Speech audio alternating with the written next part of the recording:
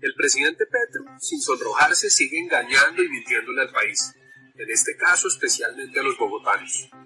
El día de hoy en un tuit señaló que el expresidente Iván Duque había dejado firmado el COMPES de la primera línea del metro. Falso, presidente Petro. Cabe recordarle que ese COMPES se firmó en el gobierno de Juan Manuel Santos y su actual ministro del Interior era el secretario general.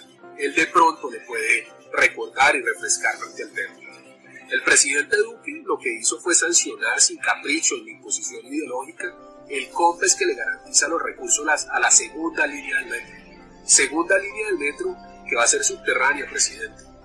Como en todas las ciudades, hay líneas elevadas y líneas subterráneas, sin imposiciones ideológicas y pensando siempre en la gente. Lo que usted está haciendo es acabando con el sueño de los bogotanos de tener metro.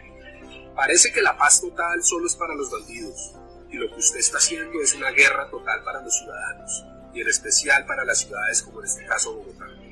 Soy Camilo Rubiano y los invito a que rechacemos la forma en que el presidente Petro está engañándonos y está poniendo en riesgo el futuro del metro.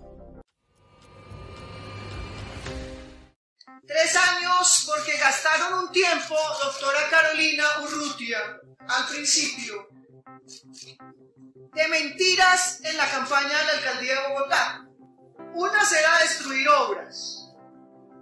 Eso de construir por lo construido lo están repitiendo ahora los que denigraron, doctor Juan Mauricio, de todas las obras que dejó Enrique Peñalosa planteadas y aprobadas por este Consejo.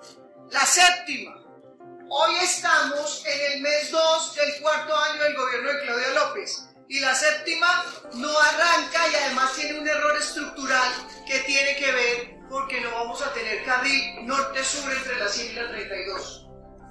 La 68 y la Cali, que dice que les tocó, no es que tocaba hacerla y tiene retrasos.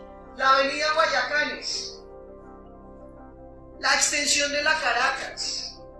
Todo esto es legado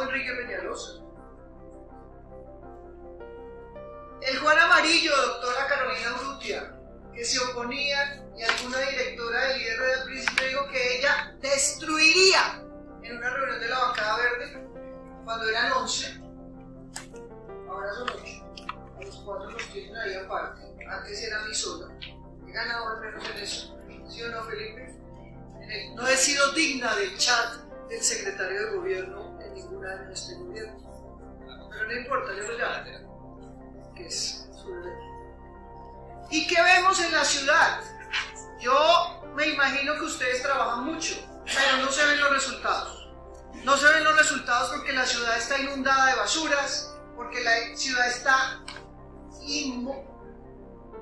inmovible, porque hay corrupción, como lo que denunciamos aquí varios concejales frente a cementerios y lo que he repetido, algo huele mal en la UEPS. Y por eso hay que escuchar cuando se hacen alertas acá. Porque la arrogancia no los ha dejado escuchar cuando se hacen alertas. Y la